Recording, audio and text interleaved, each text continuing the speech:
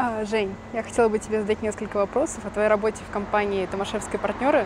Это вообще твое первое место работы или где-то ты работал Да, ранее? это мое первое место работы, и тут э, на самом деле интересная история произошла, потому что я пришел сюда в 2021 году, и я тут стажировался, и нас тогда было, кстати, еще довольно мало, то есть по сравнению с тем, сколько сейчас стажеров, нас было всего двое, по-моему, и вот э, тогда был третий курс, было тяжело совмещать объективно из-за учебы, и поэтому я принял решение временно приостановить работу, ушел, а потом вернулся уже с следующим, по сути, заходом стажеров, и э, я отбирался, отбирался, дошел до конца, и мне говорят, типа, ну, может быть, лучше ты уже на, на постоянное место работы сюда придешь, уже на должность помощника. И вот я с 2022 года э, изначально работал помощником, а теперь я тут младший юрист.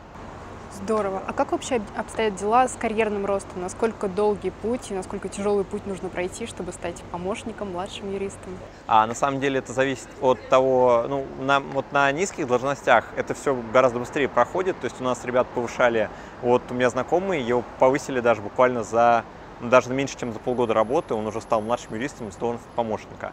И, в принципе, у нас политика компании такая, что повышают примерно от полутора до двух-трех лет, в зависимости от должности, в зависимости от достижений э, человека. И все, конечно, опять же, самое главное, что все обсуждаемо. То есть, а, например, кого-то могут повысить быстрее, кого-то дольше. Ну и, опять же, это зависит во многом от должности, потому что на а, младших позициях повышение происходит быстрее. Чем больше, ну, чем выше позиция, тем больше там требуется опыт в компании и опыт в целом, поэтому там повышение происходит уже а, не так быстро, как на более младших позициях.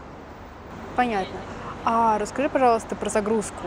Хватает ли вообще свободного времени на хобби, увлечения, или ты весь целиком полностью в работе? Знаешь, тут надо поймать волну, я бы так сказал. То есть ты должен понять, что консалтинг это штука, прежде всего, не с большой нагрузкой, а с неравномерной нагрузкой.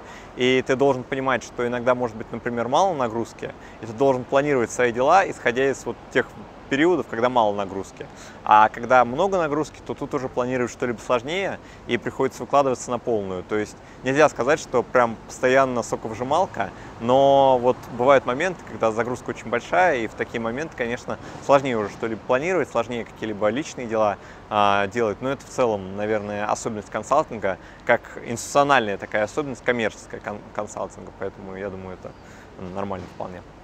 Я слышала, что у вас в компании достаточно много традиций. А можешь рассказать про свою любимую традицию и просто рассказать М, самую интересную, самую которую ты считаешь? и любимую традицию.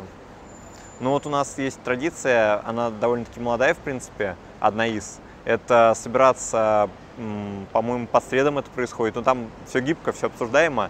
И мы там, а, партнеры рассказывают о новостях фирмы, а, мы едим фрукты, общаемся. То есть это традиция таунхоллов так называемых. Это довольно-таки сильно сплочает коллектив. Все могут пообщаться вне зависимости от вашего уровня, а, ну, в плане позиции в фирме. Все общаются, а, тусят, отдыхают, и это очень интересные моменты. А, Вот, я думаю, это одна из таких традиций. Потом еще классная традиция – это дача обратной связи по отношению к старшим коллегам. То есть у нас с этим все лояльно, и ты можешь давать обратную связь как и на тех, кто с кем ты работаешь младше по позиции, и на тех, кто э, старше по позиции. То есть э, тебя выслушают, HR поймут все, эти моменты будут учтены в будущем.